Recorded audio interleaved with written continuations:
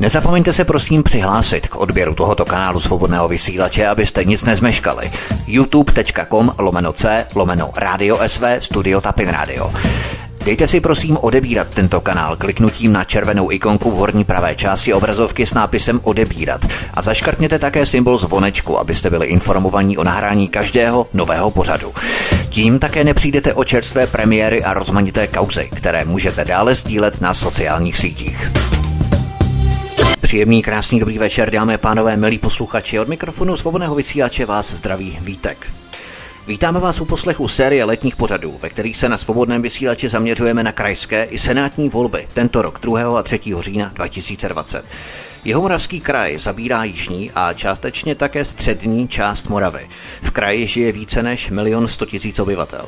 A právě z tohoto kraje u nás dnes přivítáme dvojku na kandidátce KSČM do zastupitelstva právě Jižní Moravy a tím kandidátem je Filip Zachariáš. Pan Zachariáš, hezký večer. Hezký dobrý večer vám i vašim posluchačům. V úvodu představte se posluchačům, co vás přivedlo do politiky a proč jste se rozhodl ucházet se o pozici zastupitele na kraji v rámci krajských voleb, které jsou pro českou veřejnost až tradičně nepopulární. Co vás k tomu vedlo? Tak eh, to je poměrně rozsáhlá otázka, abych si dovolil rozdělit na dvě části. Proč jsem se rozhodl angažovat vůbec v politice obecně? tak eh, je to tím, že jsem muž činu a nebaví mě sedět eh, u televize nebo u piva v hospodě a na poměry nadávat, ale chtěl bych je měnit k lepšímu. Já si trochu rýpnu. Jsou někteří politici, kteří sedí na radnici anebo na zastupitelstvu čtyři roky nic nedělají. To znamená, že kde máme garanci, že vy nebudete místo u televize sedět na zastupitelstvu a také nic nedělat? Eh, podívejte, garanci nemáte nikdy, protože já žádnou eh, veřejnou volenou funkci nemám, ale myslím si, že ti lidé, a není jich málo, kteří mě znají, tak eh, ví, že nejsem člověk, který toho hodně namluví, ale že jsem člověk, který se snaží hledat cesty tomu, jak ten konkrétní problém nebo tu konkrétní věc vyřešit. Takže uh-huh. záruku nemáte nikdy, jako to, to vám nikdo nedá, zvlášť v politice, ale... Reklamovat vás nebudeme moci, nicméně, co vás přivedlo tady do politiky, kromě toho, že tedy chcete ovlivnit kraje, to nás možná přivádí k eh, mé druhé otázce a to bychom tím mohli propojit možná, eh, protože my nejprve necháváme všechny kandidáty představit stěžejní témata, kterými chcete oslovit případné voliče. Pustíme se tedy do toho, co nabízíte jako KSČM v případě, že bude budete mít jako koaliční partner možnost ovlivňovat chod na kraji. Na co byste se chtěli především zaměřit? Což už možná plyne z toho vašeho tématu, kterým je uh, nadepsaný dnešní pořad. Přesně tak. Naším ústředním heslem pro tyto volby do zastupitelstva kraje je nenecháme Jižní Moravu na suchu. A tam bych si dovolil to dovysvětlit, protože to není jenom to prvoplánové, jak by se mohlo zdát, že se to týká otázky sucha a zadržování vody v krajině, což je věc, která v posledních eh, letech eh, velmi hýbe tím veřejným prostorem, zvlášť tady v Jihomoravském kraji, který je tím eh, postižený asi nejvíc. Eh, a je to věc v podstatě, na kterou KSČM začala upozorňovat jako první, ještě když to nebylo úplně v módě, kdy se tady eh, voda a vodárenské společnosti prodávaly zahraničním společnostem, ano, ano, ano. tak eh, my jsme říkali, že je potřeba prostě tady tuto strategickou surovinu udržet v rukách českých v rukách veřejného sektoru. A to heslo teda krom tady toho tématu samo o sobě, jako je zadržování vody v krajině, v sobě taky, eh, v sobě taky skrývá to, že nenecháme Moraváky na suchu a to jak ekonomicky, tak sociálně, tak v oblasti zdravotnictví. Takže eh, řekl bych, že je to takový všeobjímající heslo, kterým lze, eh, kterým lze vysvětlit nebo kterým lze říct, že nechceme nechat eh, Moravu a Moraváky na suchu ve všech oblastech. Podívejme se tedy na to první téma, které je zvláště v Jižní Moravě velmi fragmentovaným, a to je sucho a hledání vodních zdrojů zejména. Desítky let průmyslového zemědělství poznamenaly Jihomoravskou krajinu tak, že ztratila různorodost i odolnost. Alespoň trochu vyléčit by jí měly obrovské investice plánované vládou, ze kterých dostane jich Moravy 4,5 miliardy, což je po středočeském a jihomoravském kraji třetí největší balík. Bude se tu budovat rozsáhlý závlavový systém, který přivede vodu na pole, k vinohradům a na zahrady. Myslíte, že jde o jedno z těch eh, stěžejnějších, primárnějších řešení, nebo máte jako jiné představy o tom, jak se suchem na Jižní Moravě bojovat? Samozřejmě tyhle opatření, která jste zmínil, jsou jedna z nich. Ostatně e, nalezl byste, kdybyste zalistoval v historii našich volebních programů, tak jsou to ta, která my jsme navrhovali Eh, ať už je to budování mokřadu, ať už je to budování závlavo, závlavových systémů, nebo třeba i zvýšení hladiny novomlínských nádrží, to všechno je, eh, to všechno je ve hře, to všechno jsou věci, kterými chceme pomoci tomu, aby ta Morava nezůstala na suchu. A zároveň uh, bychom chtěli, aby se z takového toho deštníku uh, střední Evropy nebo jak někdy bývá Česká republika označována, tak stala nádrž střední Evropy. Prostě ta voda, která tady spadne, aby tím regionem nebo tím celou Českou republikou, když to vezmu o patro výš, tak aby prostě neprotekla, ale zůstala tady. Proto um, zelenou mají u nás budování biotopů, různých vodních uh, nádrží, ale i těch záblavových systémů, které jsou ostatně velice důležité a celá řada oblastí tady ty závlavové systémy měla. Bohužel v 90. letech někteří měli dojem, že je to naprostá zbytečnost tak se od toho upustilo, abychom my to teďka eh, složitě, složitě budovali.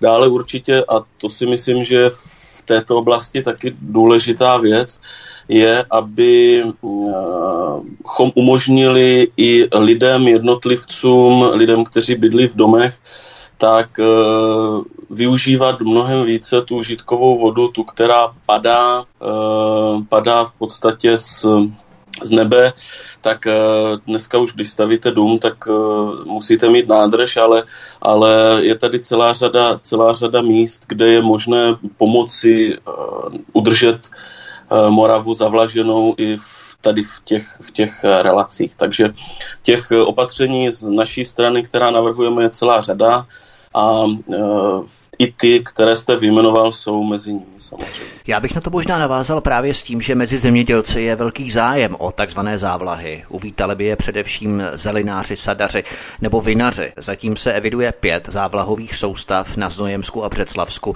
ale ve fázi studie proveditelnosti je i zcela nová závlahová soustava v Hustopečích. Vodu chtějí vést z novomlínských nádržích na Břeclavsku, které jste zmínil, postavit novou nádrž v Horních Bojanovicích. Má to být největší projekt projekt v následujícím desetiletí. Myslíte, že bude velmi obtížné pro kraj sehnat peníze na tyto projekty, i když se na to budou podílet eh, ministerstva eh, nejenom zemědělství, ale bude možné si sáhnout i na nějaké ty dotační tituly fondy z Evropské unie? Samozřejmě kraj má nějaký omezený rozpočet, nicméně ta role toho kraje není jenom v tom poskytnout peníze, ale eh, ta krajská úroveň, nebo aspoň tak, jak to vnímám já, by měla být eh, mnohem aktivnější v takzvaném lobbingu směrem nahoru, směrem k těm centrálním orgánům, aby se podařilo tady ty projekty dotáhnout do konce, protože v České republice obecně jeden takový nešvár, že všechno strašně moc dlouho trvá. A tohle jsou věci, které skutečně eh, tomu regionu mohou velmi pomoct.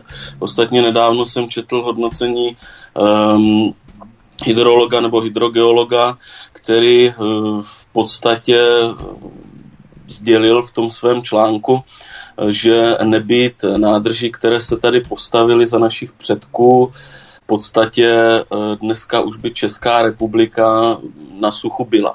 Takže jsou to věci, které jsou dlouho, eh, které eh, jakoby mají dlouhodobý přínos a věřím, že dostanou tu patřičnou prioritu tak, aby se začalo stavět co nejdříve, tak, aby co nejdříve ti lidé, ten region z toho měl zkrátka užitek.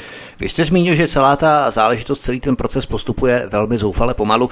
Spatřujete právě potíže třeba i v pozemkových úpravách vykupování pobřežních území podél řek, protože prioritou už není jenom vodu pochytat, ale dlouhodobě ji zadržet a efektivně tu vodu využívat v krajině různými drenážními systémy a tak dále. Je třeba s tím takový problém, proč všechno postupuje tak zoufale pomalu vykupování pozemků podél řek?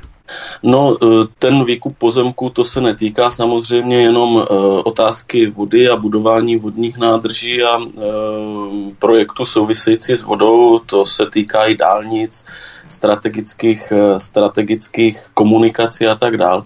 Tady mm, si myslím, že je důležité, eh, že byl přijat nový stavební zákon, který by to měl eh, určitým způsobem urychlit, ale na druhou stranu pořád, eh, když srovnám třeba, teď odbočím a vypůjčím si příklad dálnice z Brna do Vídně, ano, tak... D52 se také podíváme přes, určitě.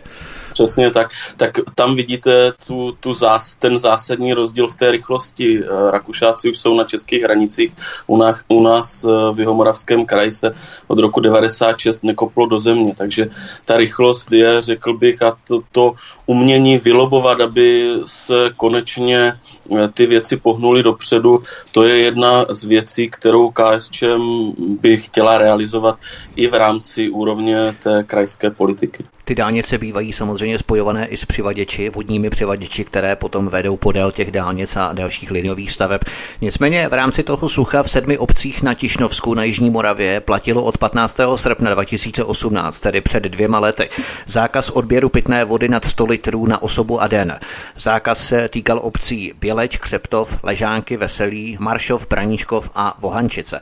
Vodárenská společnost musela jezdit doplňovat vodojemy z cisteren. Tatáž situace se opakuje téměř každým rokem i navzdory deštivému červnu tento rok za posledních 60 let.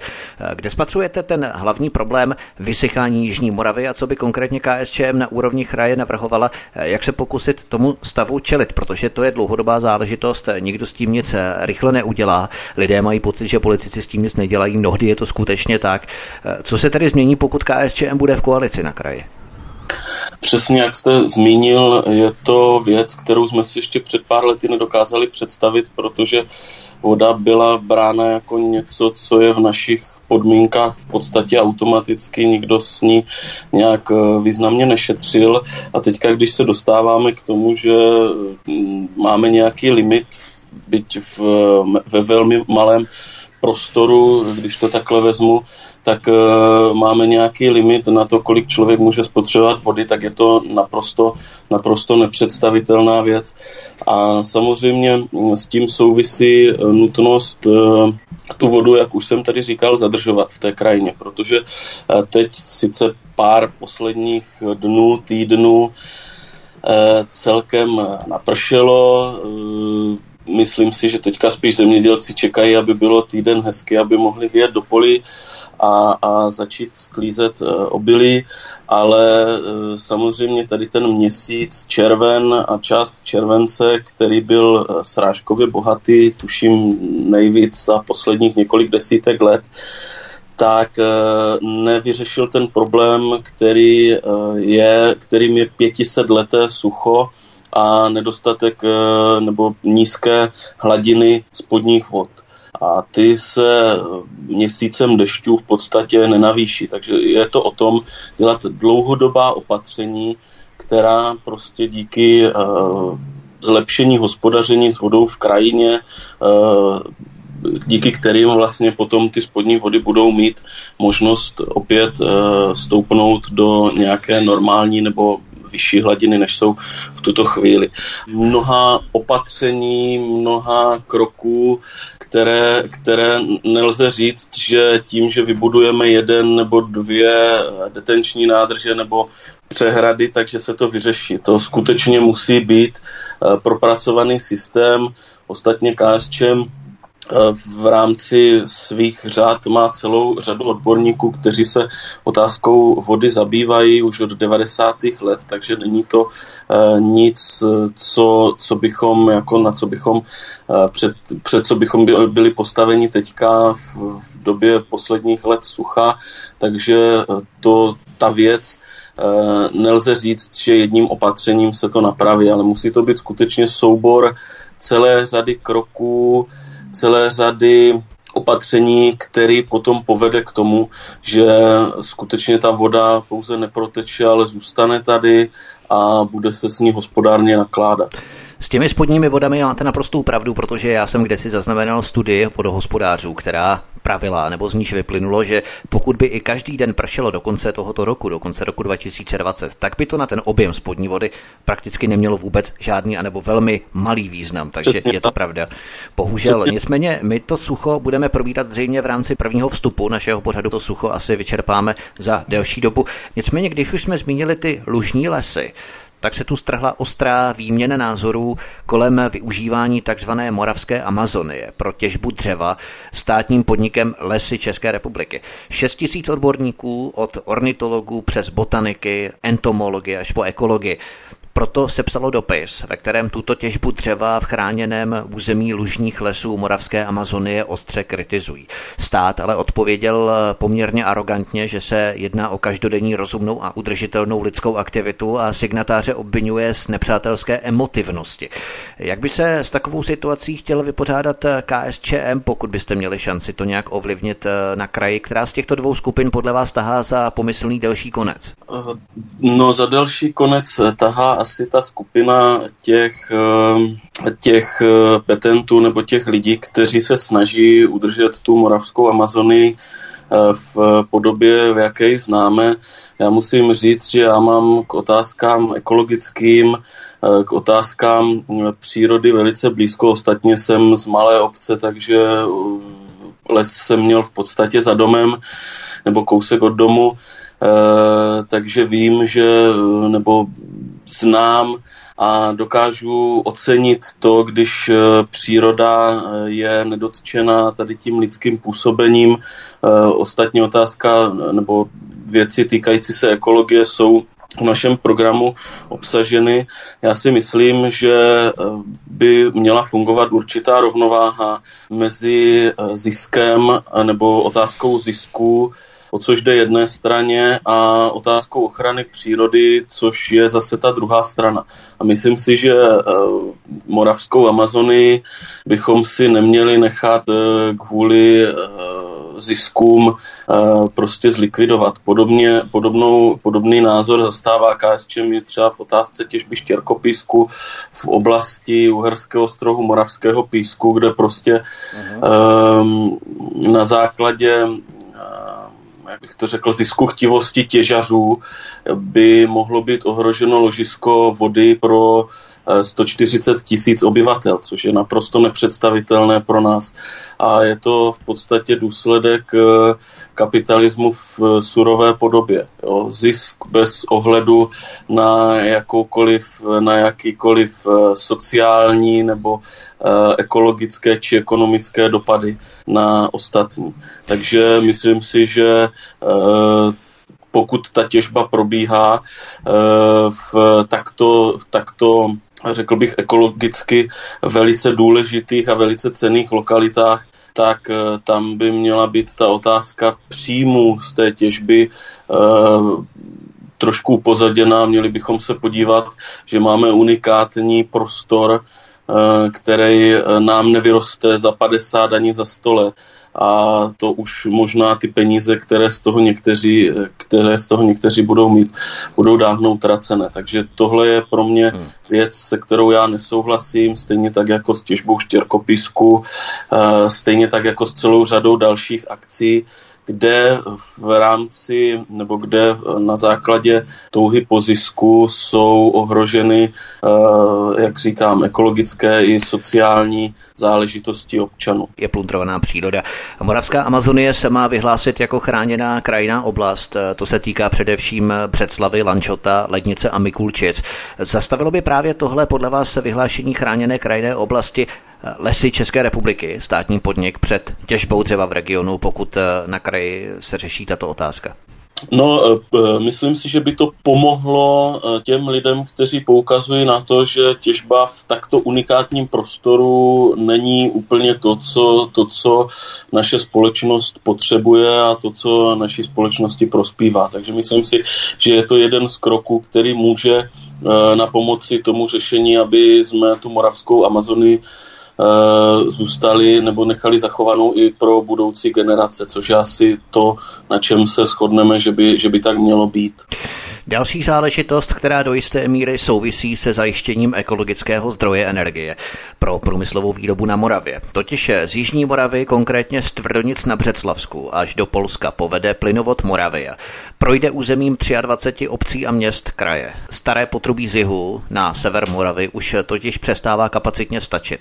Ten plynovod za více jak 10 miliard korun buduje společnost Net4 Gas a stavba se spozdila minimálně o rok. Slibuje si od toho něco Jihomoravský kraj, protože sice průmyslová výroba stoupne, ale zaměstnanost bude kolísat stagnovat plus minus na těch stejných číslech.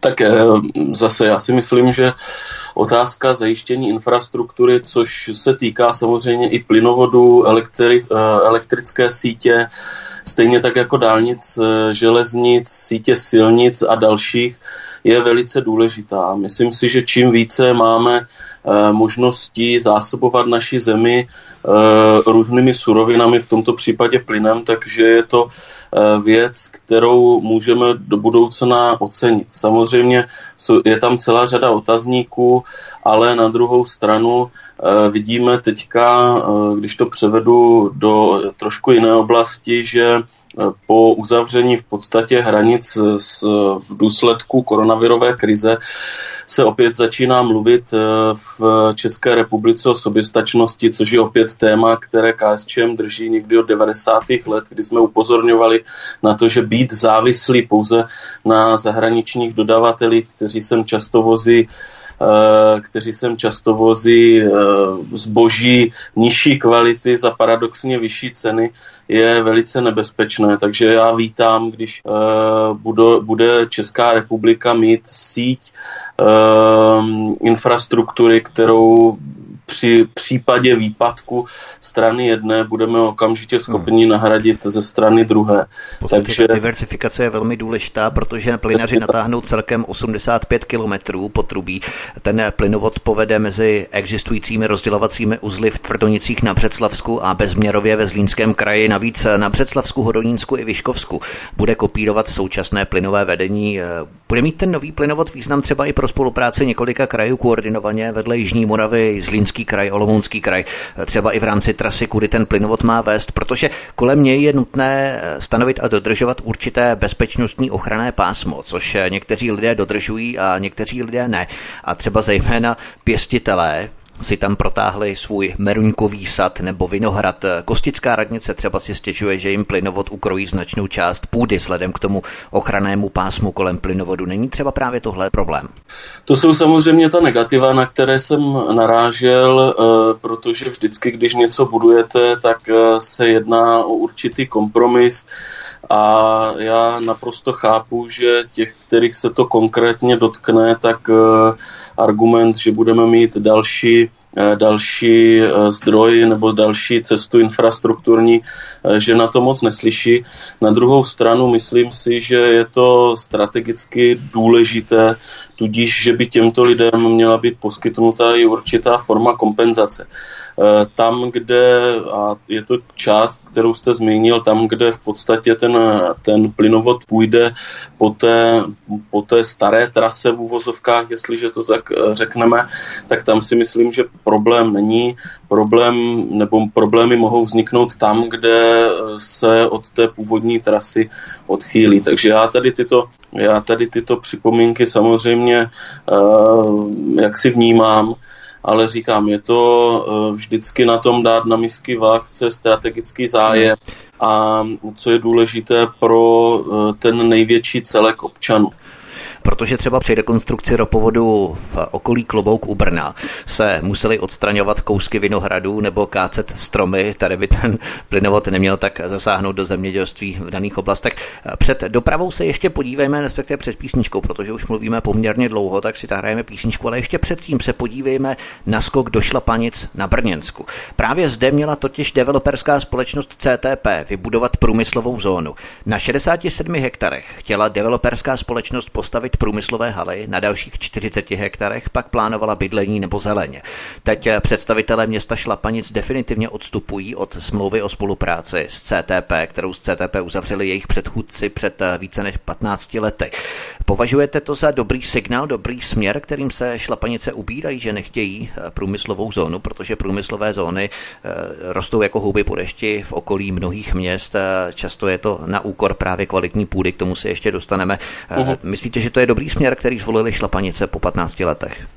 Eh, podívejte, já to vezmu zase v té obecnější rovině, ale týká se to samozřejmě i případu těch šlapanic.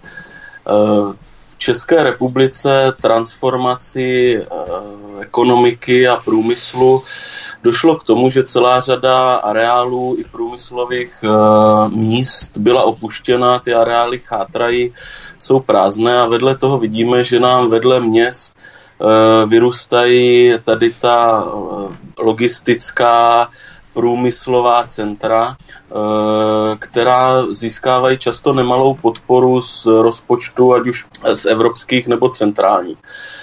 A asi nej takovým příkladem je Philips v Hranicích, že jakmile dojde k vyčerpání těch různých podpor, tak často ty, ty průmyslové zóny zejí prázdnotou.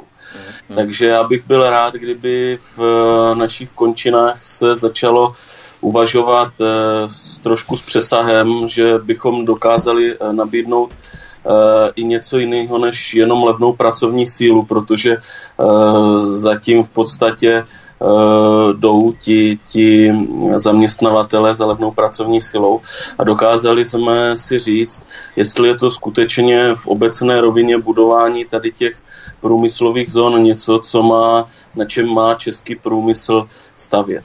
V, existuje celá řada pozitivních, kde průmyslové zóny fungují i po konci tady těch eh, různých eh, podpor z strany státu nebo eh, evropských orgánů, ale celá řada z nich skončila a zůstaly za nimi jak teda velká, plo, velké plochy, které jsou nevyužité, tak i celá řada stovek milionů, v mnoha případech i miliard z peněz nás občanů, z peněz lidí, které skončily v černé díře a ty, ty průmyslová centra, průmyslové oblasti, průmyslové zóny e, někde zejí prázdnotou. Takže případ od případu, ale jak říkám, v obecné rovině, kdy celá řada budov opuštěných továrních hal je připravena v podstatě na další využití, tak budování nových se mně zdá jako plítvání ornou půdou i prostředky občanů.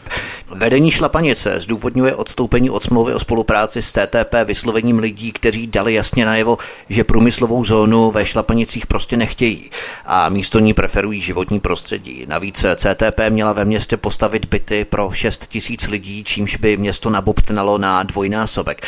Myslíte, že je právě tohle ukázkový příklad demokracie, kdy se lidé místo rozvoje a pokroku, protože tím se ospravedlňuje dnes úplně, ale úplně všechno, ale lidé ze Šlapanic prostě ukázali, že spatřují rozvoj a pokrok v jiných hodnotách než v průmyslových parcích, v průmyslových halách nebo kancelářských budovách, protože, a to bych ještě rád právě zdůraznil, na území, kde měl CTP stavět, se nachází nejkvalitnější zemědělská půda a dokonce ministerstvo zemědělství v minulosti několikrát odmítlo výjmout obrovskou plochu z půdního fondu při jednání o změně územního plánu Šlapanic. Eh, jde o jakousi vlaštovku, myslíte, kterou by se mohla inspirovat třeba i další města, nejenom na Jižní Moravě? Samozřejmě vždycky, když máte takové rozhodnutí, tak se nedá přenést eh, to, že ve Šlapanicích rozhodli dobře a jinde by to třeba bylo naopak. Já to každopádně vnímám jako legitimní rozhodnutí eh, toho, že dali přednost životnímu prostředí, službám občanům, kvalitě infrastruktury, protože ono to není jenom o tom, že vám tam vznikne několik eh, pracovních míst, v, případě, v tomto případě i bytů, ale samozřejmě ti lidi potom potřebují služby, jako jsou školy, školky, zdravotní péče a tak dále.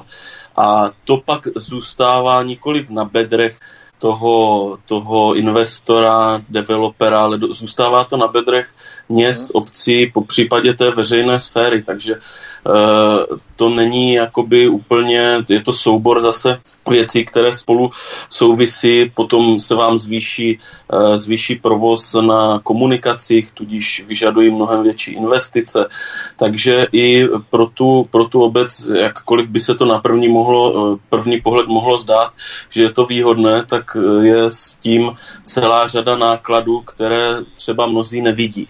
Takže já to považuji za legitimní rozhodnutí a znovu říkám, eh, myslím si, že eh, zejména to platí u těch logistických, obrovských logistických center, která nám zabírají tu nejkvalitnější půdu, eh, kterou budeme určitě v budoucnu potřebovat, protože ta otázka soběstačnosti bude rezonovat i v budoucnu mezi, mezi státy, tak to vnímám jako něco negativního a posuzoval bych to skutečně případ, případ od případu. Jenom doplním, že developerská společnost CTP přímo v Brně už pokračuje ve stavbě kancelářského parku v areálu někdejšího textilního podniku Vlněna a buduje i průmyslové haly kolem brněnského Zetoru. Do jedné z těch budov se už brzy přestěhuje například Rohlík CZ a další firmy. To by bylo všechno tady k životnímu prostředí, k suchu a boji se suchem. Filip Zachariáš, který kandiduje na druhém místě do zastupitelstva Jihomoravského kraje za stranu KSČM, je hostem u nás na svobodném vysílači od mikrofonu a zdraví vítek a po písničce jedeme dál. Hezký večer. Filip Zachariáš, který kandiduje na druhém místě do zastupitelstva Jihomoravského kraje za stranu KSČM, je stále hostem u nás na svobodném vysílači, od kterého vás zdraví Vítek. Podíváme se na další téma a tím je doprava. Příprava výstavby dálnice D52 z Brna do Vídně se opět protáhne. Krajský soud v Brně totiž zrušil rozhodnutí Ministerstva životního prostředí, které umožnilo chystat úsek mezi Pohořelicemi a Ivaní. Úspěšnou žalobu podal spolek Voda Stetčic, který už blokoval stavbu městského okruhu v Brně. To představuje další komplikace. Kdy osobně odhadujete, že začne vůbec samotná výstavba této dálnice D52 do Vídně, tedy z české strany? Vy jste zmínil, že Rakušáci v podstatě už mají ten svůj úsek dostavený ke hranicím, ale pořád to, kde se to zpomaluje nebo kde se ta stavba zastavila, to je právě na straně České republiky. Kdy to tedy začne? Kdy to odhadujete? Ještě jednou hezký večer posluchačům svobodného vysílače. E, to je otázka, na kterou já nedokážu zase odpovědět, ani bych nechtěl odpovídat. Mnozí s tím, že e, bude, nebo že se začne stavět, spojili svůj politický osud, těch termínů zaznívalo v průběhu let jenom co já pamatuju strašně moc. E, reálný nebyl bohužel žádný.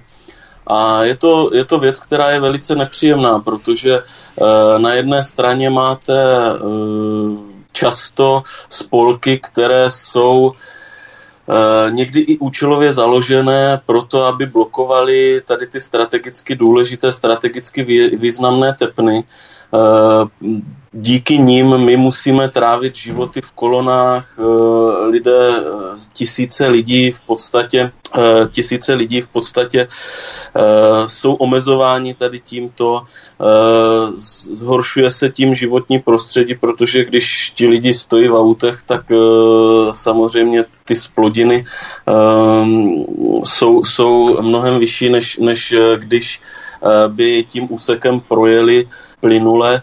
Takže eh, říkám, termín si neodvažuji vůbec, eh, vůbec eh, typovat, ale chtěl bych říct, že ostuda všech politiků, kteří jsou zainteresovaní a na ministerstvu, protože je to věc, která je, to bych rád podotkl, je to věc, která je centrální, kraj je tam v podstatě jako jeden z dotčených protože dálnice spadají do kompetence centrálních orgánů, to znamená ministerstva dopravy, ředitelství hmm. silnic a dálnic. Tak je to ostuda všech polistopadových ministrů dopravy, ať už to byli lidovci, ať už to, e, ať už to jsou v posledních letech představitelé ANO, tak e, tohle, že jsme podstatě od roku 96 nebyli schopni eh, se posunout ani o píť. To je vizitka, za kterou by se měli stydět. Hmm. Stát rozhodl, že se po dálnici z Brna do Rakouska bude jezdit přes Mikulov a nikoli přes Břeclav. Myslíte, že takové rozhodnutí o trase dálnice přes Mikulov má své opodstatnění, protože se tu točíme v různých soudních přenicích, dálnicích, přitom chybí jenom 23 kilometrů dálnice, která by propojila v podstatě existující úsek mhm. od Brna do Pohořelic s rakouskou hranicí. Je to vážně opravdu jako u blbých. No je to jako blbých a znovu bych e, připomenul to, že e, rakouská strana a my, protože to tady máme do Vídně paradoxně blíž než do Prahy, tak e, já zhruba dvakrát za rok jezdím do Vídně a ten postup je tam prostě už po tom půl roce viditelný. Na rozdíl třeba od toho, když jezdím uh, pravidelně také do Prahy a na naší dálnici D1 je 70 z 200 kilometrů v podstatě uh, pořád rozkopaných. Takže uh, je to ostuda s tím, že Mikulov samozřejmě je to jedna z variant, kterou to může jít, ale Mikulov dlouhou dobu usiluje o svůj obchvat těch měst a obcí, které potřebují eh, obchvat eh, v rámci té Jižní Moravě celá řada. Eh, zmíním i mé rodné Bučovice, kde se tady o obchvat snažíme už dlouhý, dlouhá léta. Částečně to řešila přeložka, ale kvůli, kvůli prostě kvůli některých politiků se i přeložka zrušila, takže obchvat je tady v nedohlednu. Eh, i Mikulov potřebuje svůj obchvat, takže ty obchvaty měst a obcí jsou zase hmm. věc, která je důležitá, aby ten kraj zatlačil na centrální orgány, no. aby se spojil s těmi dotčenými městy a obci a vytvořil eh, prostě eh, na ty centrální orgány takový tlak, aby se s tím skutečně začalo něco dělat. Protože... Něco podobného je to právě nejenom s tím Mikulovem a s Bučovicemi, vašimi rodnými, ale třeba něco podobného je to s obchvatem u Znojma, eh, kde se jedná o slovy 752 metrů obchvatu, dostavby obchvatu. Takže ani ne kilometr. A jakýsi spolek obchvat podal odvolání proti územnímu rozhodnutí a tak se výstavba toho tři čtvrtě kilometrového úseku odkládá na neurčito. Ten spolek obchvat dlouhodobě ten úsek blokuje, funguje pouze severní část obchvatu, ale zbývající část, která by měla obchvat dovést až k výparovce na Brno, ta se prostě blokuje. E, to znamená, že nějaká šance tady dlouhodobě není právě díky těmto různým spolkům, jakým způsobem dojednat a dokončit ty dálnice, protože tady se jedná opravdu o úsek 752 metrů a to se táhne několik, já nevím, jestli desítek let, ale minimálně jednotek let. No, jenom jestli to můžu komentovat, je to skandální, že nějaký spolek dokáže zablokovat takhle důležitý zbytek, v podstatě ani ne kilometr uh, úseku, který pomůže občanům z Nojma i těm řidičům, šoférům. Takže uh, je, řekl bych, uh, něco špatně v tomto státě nastaveno když takhle důležité věci, které se týkají tisíců a desetitisíců lidí, prostě dokážou blokovat spolky, které jsou často velice pochybny s několika členy. Eh, když to přeženu, možná to bude ode mě jako od komunisty znít trošku jako přehnaně, tak na západě by se s nima vůbec jako takhle nemalovali. Tam, když e, někdo nechce prodat kousek, e, kousek e, své půdy, která blokuje třeba stavbu důležité dálnice, tak se prostě vyvlastní samozřejmě za náhradu. Ten člověk dostane peníze v tržní hodnotě, ale žádná, žádná taková farmářka Havránková, kvůli které jsme tady v podstatě roky čekali, na důležitou, na důležitou dostavbu dálnice, tak tam prostě nevznikne, protože se s nima nikdo nemaže. Jo? A tohle je všechno, co brzdí rozvoj České republiky, co otravuje občany těch dotčených, v tomto případě Znojma, co otravuje uh, lidi, kteří se živí za volantem, lidi, kteří musí dojíždět do práce. Je to hrozný, když může takové, taková skupinka lidí v podstatě zablokovat něco takhle důležitý. Je to sice pravda, ale zase, abychom se nestylizovali do role fandů dálnic za každou cenu, to rozhodně vůbec ne, pokud samozřejmě má ten obchvat nebo ta dálnice určité opodstatnění. Co se týče paní Havránkové, tam eh, byl zase ten problém, že stát ještě když nebyl zvyklý eh, jednat s lidmi ohledně vykupování pozemků, s ní jednal velmi jaksi s nadřazeneckostí a s arogancí vlastní právě státním institucím a státním orgánům. To znamená, že stát by neměl mít takovou takovou mocenskou převahu, aby ty lidi zatlačoval skutečně do kouta, ale aby s nimi jednal rovnoceně jako s partnery. Na, na druhou stranu si vám dovolím skočit do řeči, protože ano, uh, paní farmářce Havránkové se to uh, v té kompenzaci, kterou dostala nadstandardně vrátilo, jak hmm. v případě náhrady půdy, tak v případě... No, protože bojovala. Eh, ten začátek by se jí nevrátilo. Ona skutečně zabojovala a potom teprve stát byl nucen s ní jednat jako s partnerem na rovinu a rovnoprávně. Jo, tam v, tom je nemáme, v tom nemáme uh, sporu. Já souhlasím s tím, že stát by měl s těmi lidmi jednat, ale musí být opět nějaká rovnováha, že není možné držet uh, strategicky důležité stavby kvůli tomu, že si někdo postaví hlavu. Určitě, přesně tak, to souhlasím.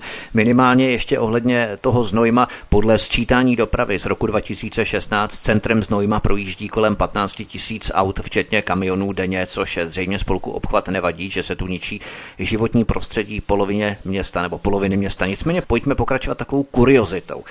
V Brně byly nainstalované nové platební terminály, které fungují na platební kartu v rámci městské hromadné dopravy. Jenže, když se pasažéři příliš přiblíží ke snímačům platební kartou v tašce nebo v batohu, přístroj si sám automaticky strhne 25 korun za lístek a cestující ani nemusí nic na displeji vyťukávat. Něco podobného se už dříve stalo v Ústí nad Labem nebo Ostravě. Teď nově i v Brně. Neměl by třeba kraj, když už jsou známá ta rizika nově zaváděných terminálů, před těmito riziky svá města jak si varovat pod hrozbou případných sankcí za neuposlechnutí takových varování, protože takto vzniknou další dodatečné náklady na opravu nebo dokonce na výměnu toho systému. Eh, bylo možné tomu předejít, když už se něco podobného stalo ve dvou eh, krajských městech předtím? Eh, samozřejmě tady si myslím, že by měl zafungovat spíš svaz města a obcí, který by měl tady tyto zkušenosti, které jsou negativní a které budou postihovat čím dál více čím dál více měst, pokud eh, samozřejmě na ně nezareagují, tak eh, by na ně měl upozorňovat při v podstatě budování tady těch nových metod placení. Já si myslím, nejsem teda IT technik, ale myslím si, že by se to dalo snadno vyřešit tím, že tu platbu musíte prostě jednoduše potvrdit jedním stisknutím. Není to žádné zdržení, ale samozřejmě pokud už něco nainstalujete a pak to musíte opravovat, tak to stojí peníze a je to velice neefektivní. Takže z tohoto bych nevinil uh-huh. kraj. E, naopak e, v rámci IDS se zavádí, e, IDS Jihomoravského kraje se zavádí také možnost placení, placení kartou nebo případně telefonem za dopravu. A v těch autobusech meziměstských tam je to trošku jinak, protože většinou ten platební terminál nebo to, to místo, kde si to kupujete, to u šoféra, když nastupujete, takže tam asi v tom nebude problém, ale v těch MHDčkách, kde jsou ty terminály víceméně v, prostředku tramvají nebo autobusu, tak samozřejmě při přeplněnosti v dopravní špičce k tomu může docházet a jak říkám, za mě by bylo to, to řešení úplně jednoduché, ale myslím si, že svaz měst a obcí by měl zareagovat zvláště, jeli předsedou svazu měst a obcí starosta Kijova z Jihomoravského kraje, tak by měl upozornit, že jsou tady ty zkušenosti e, různě v republice, aby se při budování tady té nové platební metody na to, na to myslelo a na to pamatovalo. Od 15. srpna budou také v Břeclavi nainstalované nové platební terminály v autobusech, přes které bude možné platit kartou, takže tento systém se postupně zavádí v dalších městech. Nicméně v celém Jihovnackém kraji má být od letošního září možné jezdit autobusy i při nákupu jednotlivých jízdenek kartou, aniž by lidé zaplatili více než 190 korun. Tolik totiž stojí jednodenní jízdenka integrované krajské dopravy. Myslíte, že je to krok správným směrem, že to usnadní cestování po kraji? Protože ten systém funguje tak, že si cestující během dne můžou postupně kupovat jízdenky v regionálních autobusech. Systém potom na konci dne všechny jízdenky sečte a tu cenu zastropuje. Stejným způsobem funguje i nedávno spuštěný systém elektronického odbavení v brněnské městské hromadné dopravě. Dojde sice k určitému zlevnění některých jízdenek, řekněme v různých pásmech, ale nevznikne tím podle vás výpadek v krajském rozpočtu na kapitolu dopravy díky takovému řešení, anebo to bude mít spíš podle vás eh, okrajový význam a o žádné velké ztráty nepůjde? Já si myslím, že to bude mít, jak eh, jste zmínil, tu druhou možnost, spíše okrajový význam protože eh, ten, kdo chce cestovat celý den, si může koupit tu celodenní jízdenku a těch, kteří by si jich postupně nakoupili tolik, aby to dalo dohromady 190 korun, zase, zase nebude, nebude tak moc.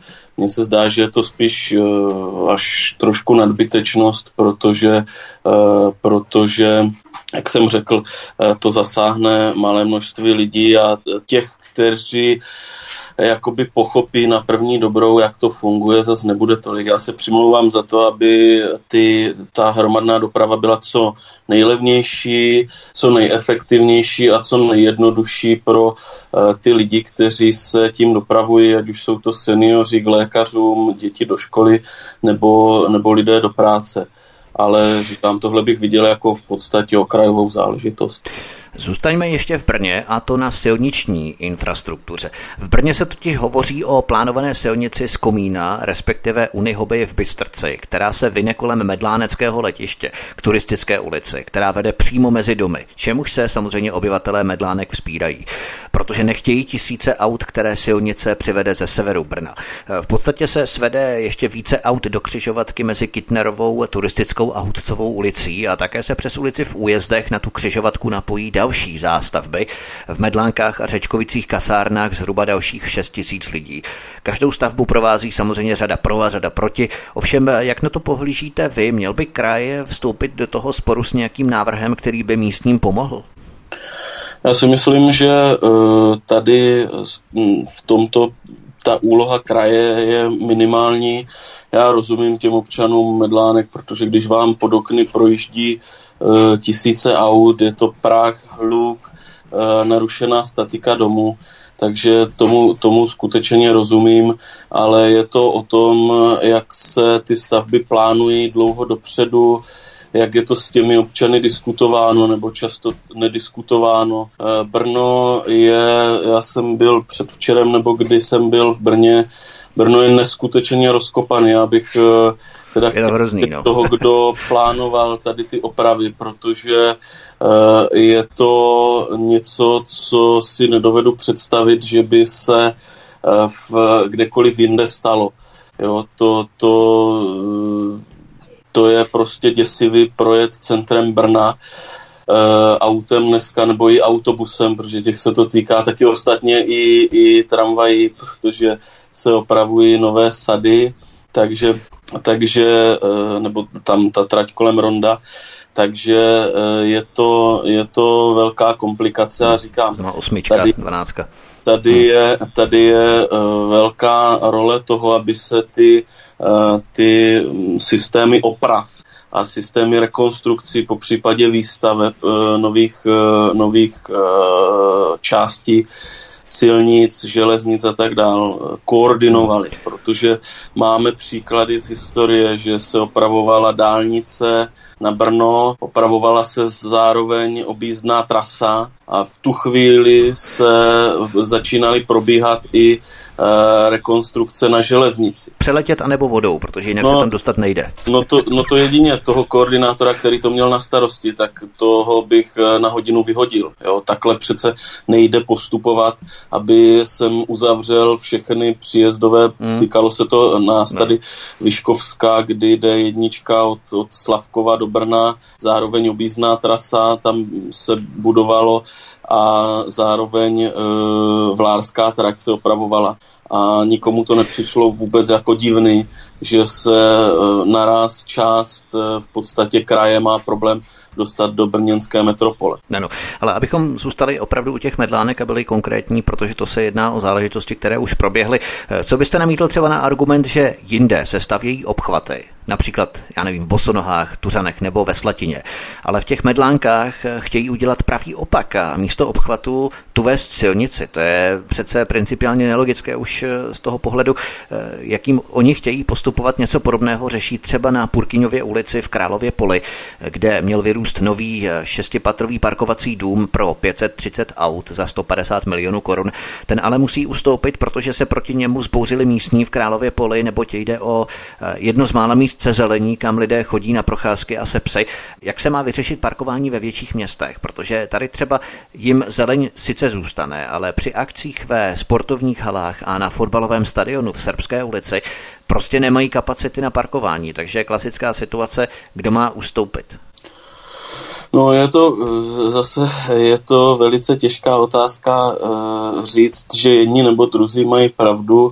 Je faktem ten, že otázka parkování nejenom v centrech měst, ale už i na sídlištích je velice palčivá. Dneska vám hasiči řeknou, že je pro, pro ně problém se do mnohých sídlišť dostat, protože neprojedou skrz ty uličky, které jsou zataraseny auty.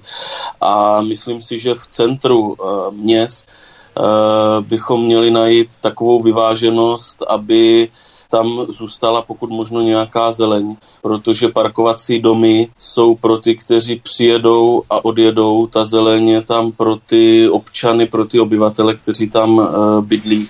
Takže tam bych spíše se klonil k tomu, aby jsme ta, cen, ta centra měst, pokud tam uh, mají to štěstí a zeleň tam nějaká jim zůstala, tak aby jim zůstala i nadále. A pokud možno, byť je to samozřejmě drahá varianta, tak uh, ty parkovací domy budovali v podzemí. Ano, rozumím. Když se dostanete na kraj, chcete nadnést na krajské radě, respektive na krajském zastupitelstvu a potom na radě otázku cyklostezek ve městech Jihomoravského kraje, protože třeba lidé, kteří chtějí dojíždět do zaměstnání na kole v Brně, třeba příliš šancí nemají. Cyklostezky jsou tu roztříštěné, nenavazují na sebe, většina je spíše rekreačního charakteru kolem Svratky nebo Svitavy. Cyklisté tak využívají silniční páteřní komunikace jako Milady Horákové, Lidickou nebo Veveří a vzhledem k šířce uličního prostoru, protože když si vezmeme pruh pro auta, tramvaje a chodník, tak eh, to prostě rozšířit nejde. Eh, chtěli byste se zaměřit i na cyklodopravu, nebo to má v gesci jiná politická frakce a vy byste to jenom dublovali? Ne, ne, ne, ne. máme i eh, otázku cyklodopravy nebo zelené dopravy obecně, kam cyklodoprava patří a kam spadá. My bychom byli rádi, aby se ta možnost dopravy na kole, na bicyklu rozšířila na co největší Eh, množství území. Na druhou stranu nejsme zase zastánci toho, aby se za eh, mnoho milionů budovali kousky cyklostezek, jako jsme tomu byli svědky v minulosti. K tomu ještě, jak jste říkal, eh, k té cyklodopravě v Brně máte naprostou pravdu. Je to věc, která rozčiluje řidiče, potkávám se s tím denně.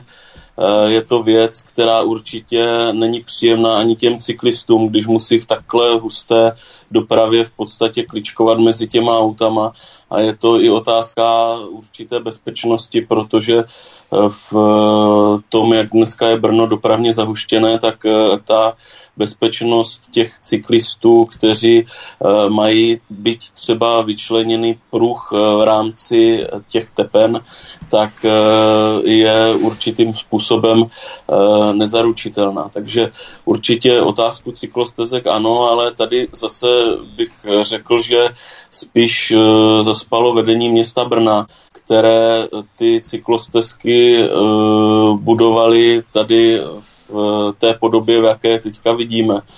Takže tam si myslím, že by se měli trošku na magistrátu města Brna zpamatovat, sednout si nad to a vymyslet eh, plán těch cyklostezek tak, aby nebyli omezováni ani ti cyklisti, ani řidiči v eh, autech a řidiči v eh, hromadné dopravě. Jo? A co se týká cyklostezek obecně, tak eh, naši podporu mají. Ostatně je to i určitá podpora turismu, protože spousta lidí využívá cykloturistiku v oblasti třeba Pálavy, takže bychom byli rádi, aby i ty ty cyklostezky byly rozšířeny třeba v oblasti Moravského krasu, ale i jiných. Eh, ale znovu podotýkám, že eh, za mm, nějaké rozumné ceny, aby nestál kilometr cyklostezky několik milionů, což jsme byli svědky, byť ne v Jihomoravském kraji, ale v minulosti tady tyto případy proběhly a to, to je něco, s čím my určitě souhlasit nebudeme. V Brně se rekonstruují třeba ulice Milady Horákové, Merhautova nebo Veveří, která bude až po Kotlářskou bez cyklopruhů. Dále už sice ty cyklopruhy budou, ale ty rekonstrukce s cyklodopravou většinou nepočítají. Vnímáte vy osobně městskou cyklistiku jako plnohodnotnou formu individuální dopravy, anebo jde podle vás spíše o doplňkovou záležitost, protože eh, při dešti jde o velmi nebezpečný hazard a už ani nehovoříme o nereálnosti cyklistiky během zimy? Eh, v těch velkých městech a Brno k ním patří, si myslím, že už je to dneska plnohodnotná forma toho, jak se dopravovat do zaměstnání nebo přepravovat v rámci toho města. E, na druhou stranu souhlasím s tím, aby na takhle vytížených tepnách, které jste jmenoval, nebo na těchto ulicích, ale i celé řadě dalších, tak prostě cyklisti e, tu vyčleněnou část neměli a e, byla vybudována e, paralelní e, síť, která umožní jim dopravit se bezpečněji a která zároveň uleví těm šoférům, kteří často prostě při množství těch impulzů v, v té hustotě té dopravy můžou, můžou nastávat prostě situace, které jsou velice nepříjemné z hlediska bezpečnosti. Takže vnímám to dneska už jako plnohodnotnou dopravu v velkých městech a tam by mělo skutečně dojít k tomu, aby byly eh, ty, tam, ta místa by byla eh, mimo tady ty tepny, které, které jsou vyčleněny pro motorovou dopravu. Přesuňme se na železnici. Chystá se modernizace a rekonstrukce vlakové trati z Brna do zastávky u Brna. Stavbu sice organizuje ministerstvo dopravy, ale jsou nějaké nedostatky v železniční dopravě, na které byste si chtěli jako KSČM na kraji posvítit, pokud vám voliči do rukou vloží, řekněme, dost silnou baterku. Já věřím v to, že nám ji vloží, abychom mohli realizovat eh, náš volební program eh, v co nejširší míře. Eh, železnice je určitě jedna z těch eh, páteřních vět, nebo jedna z těch páteřních větví hromadné dopravy. Eh, mnohem rádi bychom viděli více dopravy nákladních, nákladní dopravy po železnici, abychom ulevili i těm silnicím a městům a obci, přes které ty kamiony projíždí. Tam si myslím, že vlaková nákladní doprava má naši naprostou zelenou jsme rádi, že se za, podařilo zapojit uh, systém vlaků do integrovaného dopravního systému Jihomoravského kraje, který je, řekl bych, ukázkový uh, i v rámci republiky, byť samozřejmě celou řadu nedostatků má, ale to prostě, když potřebujete propojit tisíc obcí v rámci kraje, tak vždycky vám nějaké vzniknou. Já, co vidím jako důležité, nebo co by se mělo urychlit, byť se na tom samozřejmě z části taky pracuje, tak je modernizace vlakových souprav, což je něco, eh, s čím kraj, tady musím mm, pochválit, byť je to za přispění KSČM, eh, s čím kraj se snaží něco dělat. Teďka eh, určitě jste to sledoval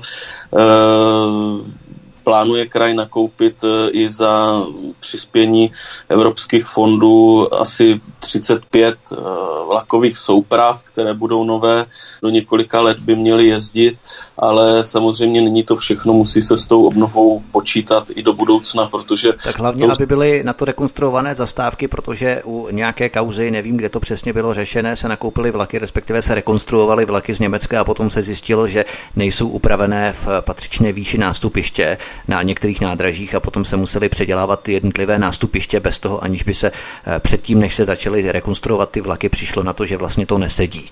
Jo, takže... to, to, to platí, to ten, kdo tohle objednává a kdo e, ručí za technické parametry těch vlaků, tak musí být takové, aby odpovídali e, těm tratím, po kterých budou jezdit. To je bez pochyby a pokud e, někdo není schopen tohle, tohle zabezpečit, tak potom v těch svých funkcích tady tyto lidé nemají, hmm. nemají co dělat. Takže vlaková doprava určitě ano, mnohem raději bych viděl více nákladů na železnici a mnohem raději bych byl, kdyby jezdilo více moderních vlaků, z klimatizovaných, s, dostupnou, s dostupným internetem a tak dále. Takže hmm, hmm. E, samozřejmě, samozřejmě vlaková doprava je jednou z těch páteřních větví hromadné dopravy, jak jsem říkal. Možná by třeba měli dělat i odsouvací střechy něco jako na kaprioletech. Jo, u vlaků to bych taky celkem i bral. Ale to je takové... To je, otá- to je otázka, ne. jak by to dlouho v našich končinách vydrželo funkční. to je pravda. Nicméně, my jsme řešili dopravu na silnicích, na kolejích, projeli jsme se dokonce i na kole virtuálně. Vypravme se teď i na vodu. Nejenom proto, že voda během léta láká asi každého z nás. Nicméně v Hodoníně čeká rozvoj jednu z nejvýznamnějších plavebních tras v Česku, a to Baťův kanál. Ředitelství vodních cest České republiky plánuje investice ve stovkách milionů. Kanál má být prodloužený až do Olomouce, počítá se také s přístavištěm v Hodoníně. Dnes Baťův kanál na jihu končí ve slovenském přístavu Skalica. Plánuje se splavnění zhruba 800 metrů z říčky Radějovky až k řece Moravě až do Hodonína. Dokončuje se plavební komora Rohatec Sudoměřice. Přibude nový bazénový přístav na Očovských loukách. Měl by být podle vás kraj nějak zainteresovaný v tomto projektu, protože to přirozeně láká velké množství turistů z celého Česka a přináší to peníze do kraje? Určitě měl, protože i vodní doprava je jednou z forem dopravy, ať už v oblasti té, té turistické roviny, tak i v oblasti té nákladní. Tady bych, tady ten, to splavnění má naši podporu, má podporu KSČM, jenom bych si dovolil upozornit, že hodonínské přístaviště v tuto chvíli tak jak je plánováno, že by tam mělo připlouvat x lodí, tak na to není připraveno a zatím ani nevím o tom, že by se na to nějak připravovalo. Takže je to zase otázka nějaké koordinace, ale jinak určitě tady ta lodní cesta, tady, ta, tady, ta, tady ten kanál a jeho splavnění má naši plnou podporu. Filip Zachariáš, který kandiduje na druhém místě do zastupitelstva Jihomoravského kraje za stranu KSČM, zůstává stále naším hostem, provází nás dnešní vysílání v dnešní večer. Od mikrofonu svobodného vysílače vás zdraví vítek. Po písničce pokračujeme ve školství. Hezký večer. Filip Zachariáš, který kandiduje na druhém místě do zastupitelstva Jihomoravského kraje za stranu KSČM, zůstává stále naším hostem. Máme po písničce od mikrofonu svobodného vysílače vás zdraví vítek. Pojďme se podívat na školství, ale začněme z trochu z jiného pohledu. Já jsem si totiž vyjel data lékařské posudkové komise České zprávy sociálního zabezpečení, ze které vyplývá, a to mě celkem zarazilo, překvapilo, myslím, že mnozí z nás budou překvapeni, že Jižní Morava je krajem s největším počtem autistických dětí v České republice. Mezi roky 2009 až 2018 dostalo příspěvek na péči 1108 jeho moravanů, kteří se o autisty starají. Dohromady v Česku registrují úřady asi 8,5 tisíce lidí s touto poruchou autistického spektra.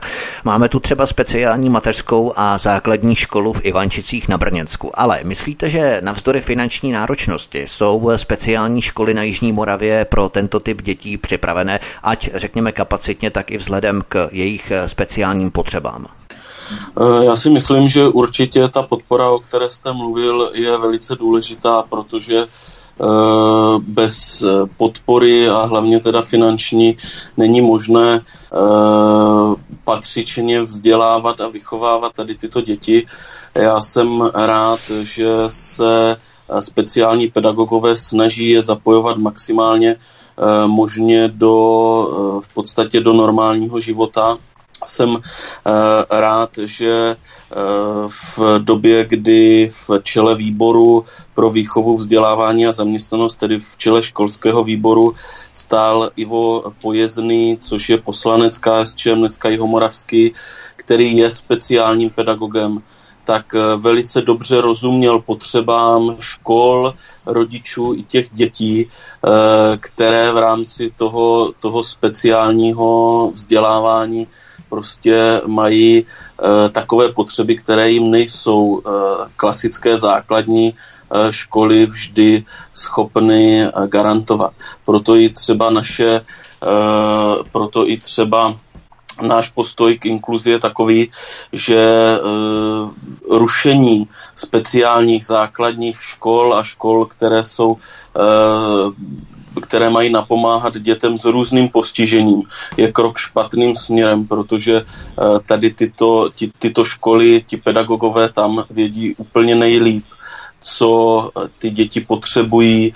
A já sám vzhledem k tomu, že eh, mám bratra, který má postižení, tak vím, že klasická základní škola mu není a nebyla by schopná poskytnout prostě takovou péči, jakou potřebují lidé s různým handicapem, ať, eh, ať už jsou to tělesné, které, kde si myslím, že tam se o inkluzi můžeme bavit, protože ti jsou schopni zvládat klasické učivo těch škol, tam s tím nemám problém, ale pak jsou různé poruchy e, mentálního charakteru a tam si myslím, že je dobře, že e, v České republice existovala síť speciálních škol, ostatně uh, to hodnotí. Velmi kvalitní, jeden z nejkvalitnějších v Evropě. Na tom celosvět, si myslím velmi. Na druhou stranu to, že se přistupuje k jejich upozadování, podle mě není dobře. Jinak, co se týče školství, tak uh, kraj má v gesci oblast uh, středoškolskou nebo oblast středního no. vzdělávání. Naším cílem je zachovat co nejrozmanitější možnost studia na různých oborech, a to s velkou podporou těch řemeslných, technických a výučních, protože se ukazuje, že prostě na trhu práce bude velký nedostatek lidí, ať už zedníků, kominíků a dalších profesí, které nám podstatě, které nám chybí tím, jak se přeorientovala, eh, přeorientovala česká ekonomika po roce 89. Takže tady vidíme eh, velkou možnost podpory, stejně tak jako eh, podpory vývoje, výzkumu a inovací, protože Jihomoravský kraj by neměl konkurovat tím, že nabídne levnou práci, ale měl by konkurovat tím, že nabídne know-how, že nabídne postupy, výrobky takové kvality, které zabezpečí eh, přísun investic a které zároveň zajistí pro eh, ty pracující, aby nedělali za třetinovou cenu v porovnání se západem. V rámci středních škol, které jste zmínil, že má kraj pod svou zprávou, tak eh, jak to vlastně bude s těmi středními školami i v rámci základních škol, které mají pod sebou města a obce eh, společně, protože dnes nikdo vůbec nemá tušení, jak školy začnou fungovat od září vlastně, jestli žáci nastoupí do tříd nebo nenastoupí, jestli budou rozsazovaní nějak, to znamená kapacity tříd řešit, eh, jak se budou řešit přestávky, hygiena, jídelny, zda bude probíhat třeba distanční výuka. V podstatě nikdo vůbec nic neví. Eh, řeší se třeba tato otázka nějakým způsobem na kraji, jak se připravit na tuto situaci, o které nevíme, zda přijde nebo nepřijde.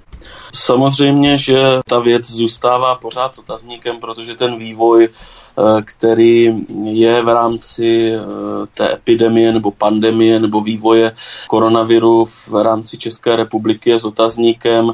Ty věci jsou nevždycky konzultovány. Teď jsme to viděli v případě Moravskosleského kraje, kdy v podstatě v přímém přenosu se dohadovala hlavní hygienička s hejtmanem toho kraje, takže nevždy jsou ty věci koordinovány. Takže já vám v tuto chvíli nedokážu říct, jak v září začnou školy vyučovat nebo nezačnou vyučovat. To si myslím, že v tuto chvíli vám neřekne ani minister školství. Na druhou stranu naším cílem je, aby eh, v případě toho, že nastane někdy opět, a já si to nepřeji, eh, stav, že budou muset studenti a žáci a studentky a žákyně zůstat doma, tak aby měli veškeré, veškeré hm, technologie, veškerou, eh, veškeré potřebné předměty k dispozici. Protože narazili jsme na to u celé řady občanů, že ne všichni byli technicky vybavení na to, aby ty eh, děti mohly být z domova vzdělávány.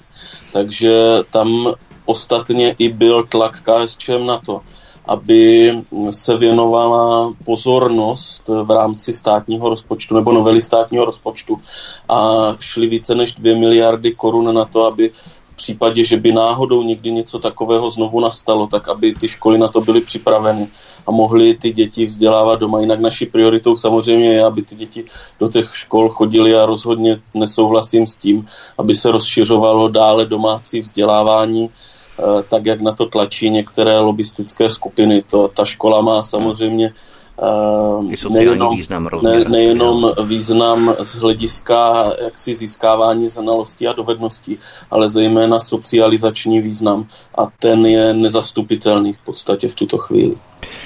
Pojďme na další téma. Co se týče bydlení a stále dražšího nájmu, případně pořizovací ceny v rámci koupě bytu. Jaké má KSČM plány na řešení této otázky na kraji? Já bych si možná v tomto světle, v tomto smyslu dovolil nadnést jednu kauzu, protože jsme zaznamenali kauzu domu na rohu Hybešovy a Leitnerovy ulice v Brně střed, nedaleko fakultní nemocnice u svatéAny, kde firma IMOS staví dům s pečovatelskou službou a ordinacemi, ale na jejich webu prý dům zařadila do kategorie bytu bytových domů. Začali se o to zajímat politici i kontroloři. Něco podobného se odehrálo třeba už i dříve v brněnských Vinohradech s projektem, který působil jako budova pro bydlení v místě, kde to územní plány neumožňovaly a nakonec je z toho sportovní komplex. Neobáváte se, že bude podobných účelových změn v územních plánováních probíhat i v budoucnu více nebo že bude dokonce narůstat tento jejich počet? Obávám se, protože e, samozřejmě ta touha, ta vidina toho zisku je často silnější než e, potřeba té veřejné služby nebo zajištění jedné ze základních lidských potřeb, což je otázka bydlení. Eh, je to věc, eh, kdy my se znovu začínáme konečně bavit o eh, rozvoji družstevního bydlení, obecního bydlení. Jsou to věci, o které by si politici ještě před několika lety opět neotřeli ani boty a řekli by, že je to socialistický vynález. Teďka ano, od ano, ano. KSČM obsali některé politické subjekty podporu družstevního bydlení, ale třeba i bez úročných půjček nebo půjček pro mladé rodiny.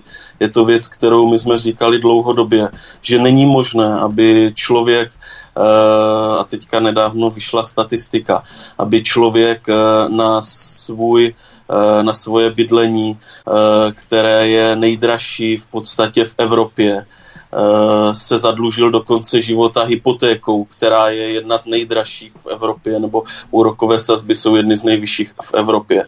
A splácel to do konce života. V podstatě pro některé se bydlení dneska už stalo naprosto nedostupným, protože na tu hypotéku tak, jak jsou ty ceny a ty pravidla nastaveny, tak ani nedosáhnou. Takže za nás rozhodně rozvoj družstevního, obecního, ale i prostupného bydlení a samozřejmě dotační politikou ovlivňovat eh, to, aby se stavělo, eh, stavěly byty a domy pro ty, kteří to potřebují a ne pro ty, kteří na tom chtějí vydělat. To je samozřejmě eh, věc číslo jedna.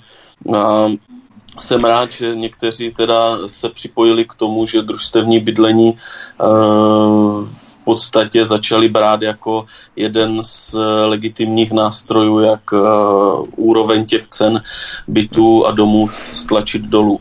Takže tohle jsou naše poznatky k tomu, eh, jak si myslíme, že by se mělo postupovat, aby si své bydlení mohl dovolit každý, aby jedna ze základních lidských potřeb nebyla ve, ve státě, který se označuje za vyspělý, nedostupná pro nemalou skupinu osob. S otázkou bydlení a bytového fondu se pojí i sociální politika. V Brně je kritický nedostatek domů pro seniory, což je ale to nejdražší možné řešení. Hovoří se o stále častějších terénních službách, terénních asistencích, eh, což je pro mnohé politické strany prioritním řešením v otázce péče o seniory. Já si dovolím třeba i upozornit na Židlochovice na Brněnsku, kde začalo lidem sloužit nové komunitní centrum za 70 milionů korun z pera architekta Pavla Jury. Nabízí kluby pro seniory i matky s dětmi nebo také kanceláře, kde odborníci poradí lidem s finančními problémy a další sály. Řešíte třeba i tuto otázku, jak a kolik vyčlenit peněz na podporu podobných kulturních anebo sociálních center na Jižní Moravě?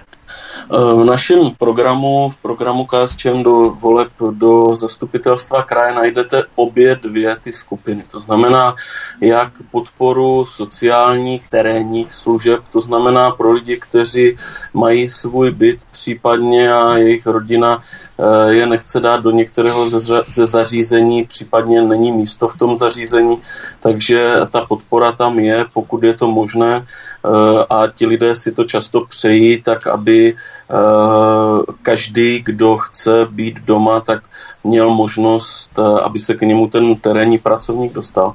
Na druhou stranu mají naši podporu i výstavba eh, domovů pro seniorů, seniori, je to obrovská skupina osob tím, jak podstatě jde ten demografický vývoj, tak se bude ještě zvětšovat, takže eh, jednou, jedním z našich eh, bodů v programu je výstavba či rozšíření kapacit domovů pro seniory v každém ze sedmi okresů Jihomoravského kraje a to ideálně tak, aby e, ta zařízení byla krajská, po případě se podpořily ty, které mají e, ve své správě obce, protože tam e, máte v podstatě zajištěno to, že je to služba a nikoli v biznis, což i ty případy z minulosti svědčí o tom, že mnohdy biznis ze seniory některé soukromé Eh, soukromé zařízení prostě provozovali a tam taky často byly ty eh, podmínky eh, pro ty seniory někdy až drasticky. Bydlení se také týká rozsáhlá kauza, která se v Brně řeší, a to systém poskytování úplatků, které se týkaly zprávy nemovitostí městské části Brno střed. Ta se stará o byty a jejich opravy celkem zhruba o 5 tisíc bytů. Bylo zahájené trestní stíhání 26 fyzických osob a jedné právnické osoby bývalého vlivného politika z hnutí Ano Jiřího Švachulu už žalobce poslal k soudu. Jeho přítel Jaroslav Faltýnek se synem zůstávají mezi podezřelými. Jak myslíte, že tato rozvit větvená kauza, zvaná Stoka, zasáhne do krajských voleb. Mohli byste z toho těžit jako KSČM, když zřejmě dojde k určitému oslabení hnutí ano před volbami? Eh, já věřím, že občané eh, ocení to, že KSČM je v podstatě jediná strana, která není zatížena korupčními skandály, protože ANO si na tom vybudovalo své renomé. Teď vidíme, jak to postupuje v Brně, kde teda nejsou eh, podle toho, co jsem četl ve veřejném prostoru, už se to netýká jenom politiků ANO, ale už jsou tam i někteří bývalí politici z jiných stran, a případně i, i aktivní politici z jiných stran. Já věřím, že lidé to ocení a že, že eh, nebo lidé ocení, že KSČM nikdy v žádné takové podobné kauze namočena nebyla. A musím říct, že eh, vždycky u nás platilo, že heslo padni komu padni eh, prostě platí i nadále a myslím si, že, že je to jediné možné, eh, aby to takhle fungovalo v podstatě v tom veřejném prostoru. Chceme-li vrátit eh, nějakou důvěru v eh, elementární postupy té státní zprávy mezi lidmi. V této kauze zvané Stoka je cinknutých na pět desítek zakázek, včetně třeba modernizace tržnice na zeleném trhu za 70 milionů korun, zakázky na inventury bytů za 36 milionů korun. V září tato kauza zamíří k soudu. Bez pochyby se tu stalo mnoho svinstev, korupce, podvodů, ale přece jenom nemáte pocit, že tu jde o konkurenční politický boj soupeřících rivalů, protože to načasování měsíc před volbami a ne měsíc po volbách je velmi podezřelé. Nevidíte tam právě na pozadí boj proti kandidátů, aby se znovu, já to řeknu lidově, jak si vecpali ke žlabu brněnského rozpočtu? Rozumím mm, té vaší otázce. Eh, já musím říct, že neznám ty konkrétní obrysy, jenom to, co samozřejmě eh, vždycky eh, vyplave na povrch v médiích, takže jsem slyšel nějaké nahrávky, viděl jsem nějaké záběry z předávání úplat, yeah. což teda je pro mě něco děsivého, že tomu mohlo v podstatě v Brně takovým způsobem fungovat. To bych si představil někde v Palermu a, a ne v metropolii Homoravského kraje. Na druhou stranu samozřejmě vždycky, když se objeví nějaký korupční skandál té nebo oné strany, tak vždycky se na tom snaží ta konkurence vydělat. To bych jim nevyčítal, já jenom podotýkám, že dneska se na tom snaží třeba vydělat ODS, která byla jedním ze symbolů e, doby, kdy korupce v této republice kvetla, takže věřím, že občané opět vzpomenou, kdo se nenechal skorumpovat a že to byli politici KSČM. Možná v rámci toho Palerma v Brně nacházíme velký počet pizzerií, což možná ilustruje tu situaci ohledně Palerma. Vidíte, to jsem je. si dohromady nedal, tak možná Ale někteří inspirovali. Pro korektnost eh, hodně pizzerií je v mnohých dalších městech, takže to je jenom tak spíš úsměvně, abychom to zakončili. Filip Zachariáš, který kandiduje na druhém místě do zastupitelstva Jihomoravského kraje za stranu KSČM, zůstává stále naším hostem u nás na svobodném vysílači, za kterého vás zdraví Vítek. Po píšničce se podíváme v kratším vstupu, posledním vstupu našeho pořadu na zdravotnictví a na kulturu. Hezký večer. Filip Zachariáš, který kandiduje na druhém místě do zastupitelstva Jihomoravského kraje za stranu KSČM, zůstává naším hostem na svobodném vysílači, za kterého vás zdraví Vítek. Pojďme se podívat na zdravotnictví. Fakultní nemocnice Brno rozšířila možnost náštěv na každý den v týdnu. Dříve byly totiž náštěvy kvůli nemoci COVID-19 zakázané a poté omezené na pouze pondělí a středu. To rozšíření se týká areálů v Bohunicích i porodnice na obilním trhu. Myslíte, že ta opatření eh, jsou adekvátní nebo se s tím rozvolněním příliš otálí? Já si myslím, že teďka se ukazuje, že eh, s tím rozvolňováním budeme muset eh, velice eh, opatrně zacházet, protože, jak se ukazuje, tak někde to rozvolnění přineslo nárůst počtu případů koronaviru, byť nejsem z těch, kteří by propadali koronavirovému šílenství, tak jsou prostě skupiny osob, na které ten, ten vír může mít eh, dopad a spolu s dalšími nemocemi, spolu s dalšími komplikacemi může vyvolat eh, prostě velice negativní stavy těch osob a proto si myslím, že nemocnice by v tomto ohledu měly být co nejobezřetnější, protože obvykle v nemocnici leží lidé, kteří se s nějakou nemocí už léčí nebo z nějaké nemoci zotavují a tam potom při kombinaci eh, toho koronaviru nebo toho COVID-19 eh, může dojít eh, ke komplikacím mnohem větším, než by byly hmm. bez, bez tady tohohle. Takže rozvolňování ano, ale rozumně a ne tak, aby to ohrozilo občany. Ten covid číhá skutečně všude. Já třeba se bojím, že na mě bude číhat covid-19 třeba v eh, poštovní schránce, když si půjdu vyzvednout nějaké složenky, které bych měl zaplatit, tak eh, to sedu na koronavirus, proto tam radši ani nejdu do té schránky. Nicméně Jihomoravský kraj dostal od eh, ministerstva zdravotnictví 97 milionů korun na odměny zdravotnických záchranářů v souvislosti s nemocí COVID-19. Jak se ty peníze rozdělí, dostanou je všichni pracovníci záchranářství, včetně, já nevím, řidičů a dalšího personálu, protože aby nebyly rozdělené pouze mezi několik jo, lékařů, kteří samozřejmě jsou v té první linii, ale působí tam samozřejmě i řidiči a další personál, který sice není, jak si nezajišťuje tu zdravotní stránku, ale zajišťuje tu infrastrukturu v té zdravotní struktuře. Já věřím, že ty odměny dostanou všichni, kteří se podíleli na řešení té koronavirové situace od eh, šoférů přes telefonistů až po uh, konkrétní lidi v bílých pláštích, takže já věřím, že tady ta distribuce prostředků, které kraj bude mít na ty odměny, bude uh, určitým způsobem uh, spravedlivě rozdělena. Je to jedna věc, na kterou jsme i my jako KSČM na centrální úrovni tlačili tlačili při eh, v podstatě vyjednávání o novele o státním rozpočtu, aby ti lidé, a jak říkáte, nejsou to jenom lékaři, ale i zdravotní sestry a celá řada dalších, i lidé v sociálních službách, prostě všichni, kteří ano, se snažili pomáhat eh, během té eh, první největší zatím vlny, tak aby eh, se to odrazilo na jejich, na jejich výplatních páskách. Takže já věřím to, že kraj to porozděluje do svých zařízení krajských, tak, aby skutečně nikdo nemohl říct, já jsem dostal a ty jsi nedostal, nebo obráceně. Mm. Jihomoravský kraj předal svým nemocnicím 18 termokamer na měření teploty, které za více jak 2 miliony korun dostal od ministerstva zdravotnictví. Novou techniku využijí nemocnice v Kijově, Znojmě, Břeclavi, Hodoníně, Vyškově, Ivančicích, Hustopečích, Letovicích a Těšnově. Plánuje samotný kraj nějak v dalších měsících přispět nemocnicím na provoz, ať už eh, řekněme na dozvuky kolem koronakrize, tak eh, třeba i na modernizaci, anebo v tomto směru eh, jsou, myslíte, nemocnice na Jižní Moravě více či méně připravené?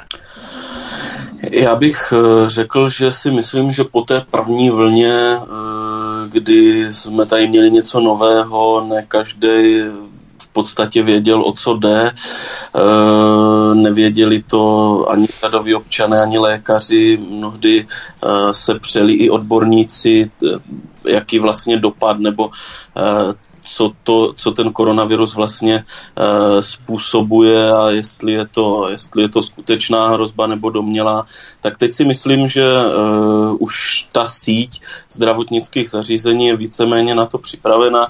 My jako KSČM dlouhodobě podporujeme uh, vybavenost uh, zdravotnických zařízení. To ostatně najdete znovu, se odkážu na nás program i pro letošní volby, tak aby prostě pacientům na Jižní Moravě byla byla zajištěna špičková péče, eh, co bychom chtěli, tak aby eh, nemocnice mohly více léčit, méně papírovat. I proto jsme eh, se vyslovili pozitivně k myšlence takzvané krajské zdravotní, kdyby eh, tohle mohlo ušetřit nemalé prostředky, které by mohly potom sloužit samozřejmě těm konkrétním lidem, těm konkrétním nemocným, protože díky tomu by se mohly eh, realizovat centrální nákupy a tak dále, a tak dále. Těch hmm. možností je tam celá řada samozřejmě. To znamená více léčit, méně papírovat, méně administrativy, méně byrokracie. S tím se právě pojí ta věc, že Centrum kardiovaskulární a transplantační chirurgie v Brně, kde pacientům mění játra, srdce a ledviny, zprovoznili nový systém takzvané digitální nemocnice. O co jde? V tom systému bude uložená veškerá dokumentace pacienta a lékař si tak prostřednictvím jedné platformy vyhledá rentgeny, já nevím, nálezy, záznamy operací nebo třeba anamnézu. Ty informace totiž bývají uložené v různých systémech a přenos mezi nimi je velmi zdlouhavý. Jde podle vás o krok správným směrem, nebo to otvírá další otázky spojené s obavami o zabezpečení takových dat a přístup k nim z jednoho místa? Eh, vždycky, když máte na jednom místě velké množství informací, tak samozřejmě ty obavy jsou na místě, aby se zajistila jejich bezpečnost. Ostatně eh, dneska každý hovor je monitorován, každý je nahráván. Dneska chytrým telefonem je možné sledovat člověka nebývalým způsobem. Takže těch otázek nejenom v oblasti zdravotnictví je celá řada. Na druhou stranu myslím si, že ve zdravotnictví, kdy se bavíme o životech, o zdraví jednotlivců, by měla existovat alespoň základní databáze toho, kdy ať půjdete k lékaři v Brně nebo v Ústí nad Labem, tak bude mít zásadní a základní informace na jednom místě a bude schopen říct, eh, že tenhle lék je pro vás správně nebo ten druhý je špatně. Jo, takže uh, myslím si, že uh, krok eh, k tomu, aby určité množství informací, určitá data byla na jednom místě, je správný, pok- hlavně pokud to tedy pomůže těm občanům, protože nejednou jsme se setkali s kombinacemi léků, kteří, který předepsali různí lékaři, nevědí, věděli o tom, že ten pacient bere jiný lék, který je neslučitelný s tím, kterým předepsal jinde. A to je jako s našimi českými soudy a českou justicí. Jeden stupeň odsoudí, druhý stupeň řekne, že to bylo špatně a ten justice, úplně změní. Justice je mě uh, zase trošku jiný případ, ale v případě tady toho zdravotnictví si myslím, že pokud bude zabezpečeno to, aby se do toho nikdo nepovolaný nedostal, tak eh, já s tím osobně nemám problém. V případě hmm. justice je to něco jiného, pokud eh, rozsoudí eh, nižší instance diametrálně od toho, diametrálně odlišně od toho, jako to následně udělala ta instance vyšší, pak je na místě ptát se, co vedlo toho soudce té nižší instance k tomu, aby to viděl tak, jak to viděl. A to je na nebo... hodně dlouhou debatu. Teda. Ano, někdo z těch dvou soudů to rozsoudil špatně, buď první, anebo ten odvolací druhý uh, soud druhého stupně. Co se týče kultury, pojďme na poslední téma kulturního dědictví. Začnu trochu netradičně, protože někdo může za kulturu považovat nejenom restaurace, ale i kasína. Předseda Úřadu pro ochranu hospodářské soutěže Petr Rafaj před několika týdny potvrdil pokutu 828 tisíc korun pro Brno za průtahy při povolování kasína Forbes na Benešově ulici 14. Sankce je pravomocná, město musí téměř milionovou pokutu zaplatit. Stále častěji se hovoří o zákazu hazardu v Česku, zatímco v Brně nejenom, že se povolují kasína, ale město dokonce dostalo pokutu za to, že vznik toho nového kasína zdržovalo. To je fakt český bizár. Nicméně neměl by kraj v tomto směru zasáhnout v rámci legislativy, která zastřešuje snahu vlády o zákaz kasína na území měst České republiky. Má na to kraj nějaké pravomoce? Ty pravomoce jsou v tomto ohledu, řekl bych, eh, naprosto minimální. Kraj eh, v tomto je zase opět jako eh, spíš dotčený, dotčený orgán, než ten, který je tím hybatelem uh-huh. toho problému. To je skutečně na otázka zase na centrální úroveň, protože centrální úroveň by měla jasně říct, jak to bude s hazardem, a jakým způsobem eh, budeme se k němu stavět. Buď, že se budeme snažit ho eliminovat do nějaké doby, nebo řekneme, budeme tolerovat v takové a v takové míře a potom podle toho, eh, aby ta města, obce, která uvažují o tom, že by na svém území eh, měla kasíno, protože někteří, a to je nutno podotknout, prostě v těch rozpočtech Eh, ty příjmy z eh, těch kasín prostě tvoří nezanedbatelnou část. Na druhou eh, stranu je na místě ptát se, zda je legitimní užívat si peněz, které mohly jinému způsobit v podstatě životní traumata. Ale to jsou věci, o kterých se bavíme, ale kraj v podstatě může, eh, kdybych to vzal ad absurdum, protože kraje mají též zákonodárnou pravomoc, tak by mohl vymyslet eh, návrh zákona, který by odsouhlasilo zastupitelstvo, ale je to krkolomny a vlamování se do dveří někomu, kdo to má na starosti. Pojďme ale za skutečnou kulturou. V Brně je na Brněckém ústředním hřbitově 28 žulových desek s přibližně 3600 jmény padlých rudoarmějců. Je mezi nimi i 1715 nových jmén, jejichž totožnost byla donedávna neznámá. Budete jako KSČM na kraji podporovat více takovýchto projektů, které kontrastují s tou vybičovanou, vyhrocenou atmosférou rusofobie, protože ty žulové desky se jmény dalo vyrobit ruské velvyslanectví na náklady Ruské federace. Uh-huh. Není škoda, že se na tom buď město Brno nebo samotný kraj alespoň symbolicky nepodílelo? Já si myslím, že eh, je dobře, že se velvyslanectví Ruské federace snaží o to, aby byla eh, důstojně připomínána role Rudé armády při osvobozování Československa, respektive České republiky jako nástupnického státu. Eh, to přepisování dějin, které v roce 75. výročí, tedy v roce letošním, dosáhlo neskutečných eh, výšin, Uh, nikdy jsem si nepředstavoval, že bychom se vůbec museli bavit o tom, jestli rudá armáda vůbec byla osvoboz, jako osvobozující armáda našeho území.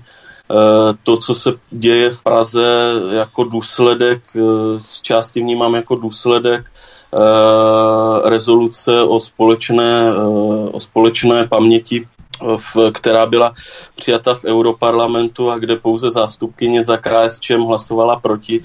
Všichni ostatní odsouhlasili třeba to, že Německo už není považováno za jediného vyníka druhé světové války, ale přibyl k tomu i sovětský svaz, takže svaz. tohle je všechno e, s tím souvisí, nebo já to dávám do souvislosti. Mimochodem třeba i tu rezoluci, kterou odsouhlasilo 20 z 21 českých europoslanců, tak e, v ní se mluví třeba i o odstraňování symbolů takzvaných totalitních režimů, takže když to vezmeme v tomto pohledu, tak pan starosta Prahy 6 neudělal nic jiného, než to, že vykonal to, co odsouhlasili naši europoslanci s výjimkou zástupkyně za KSČM v Evropském parlamentu. Je to hanebnost, mm-hmm. je mhm. to hrůza.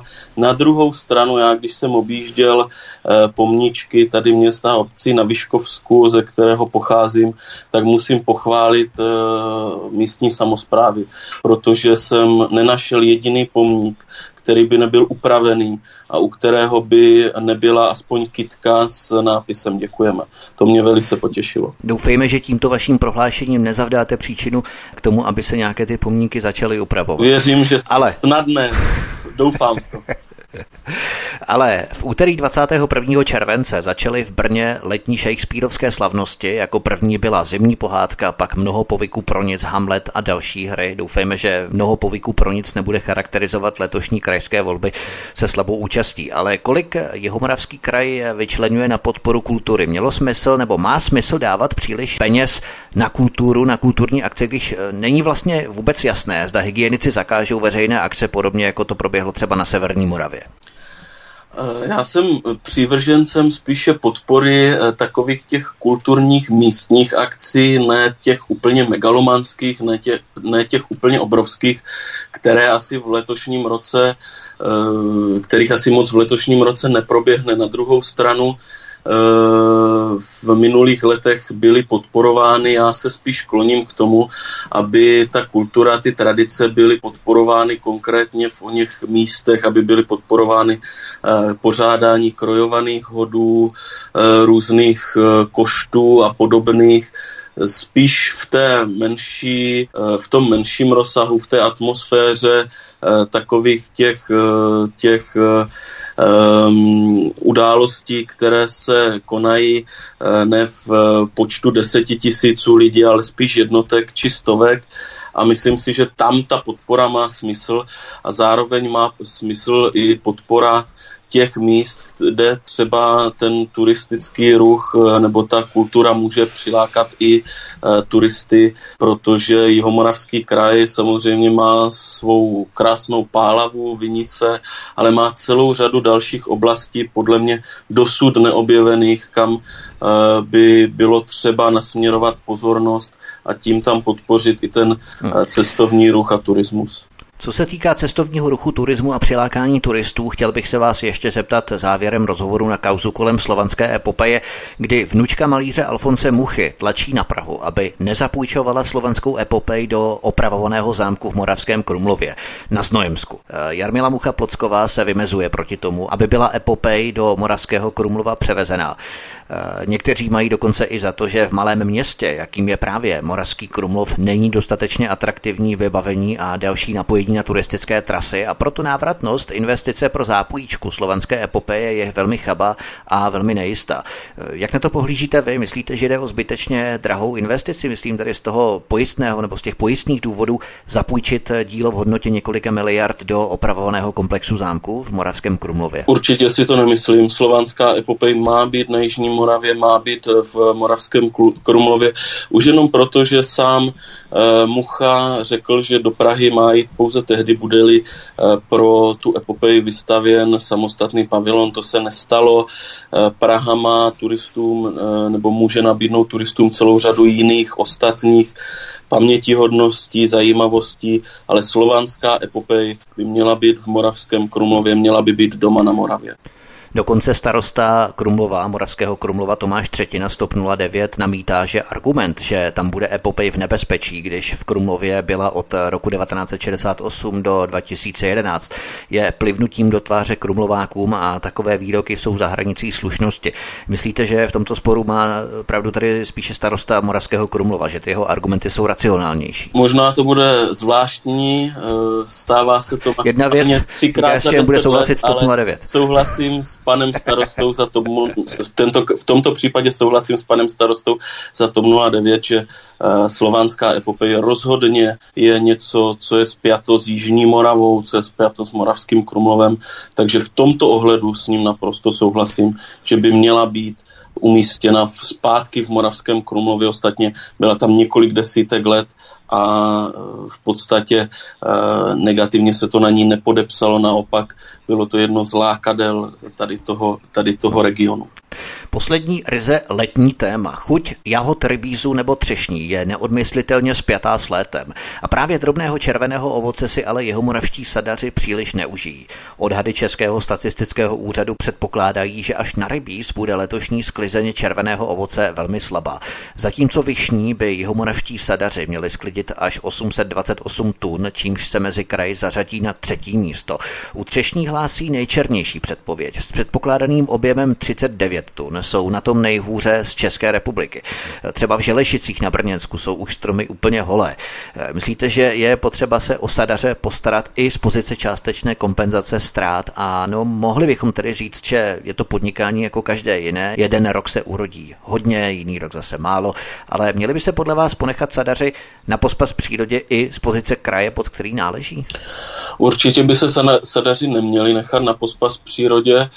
Eh, platilo by, že je to podnikání jako každé jiné, pokud by měli stejné podmínky jako ovocnáři, sadaři a pěstitelé v celé Evropské unii, ale vzhledem k tomu, že ty eh, podmínky jsou rozdílné, tak si myslím, že naprosto na místě podporovat naše lokální pěstitele, naše lokální výrobky, naše lokální eh, produkty a samozřejmě to ovocnářství, sadařství a zemědělství obecně do toho patří.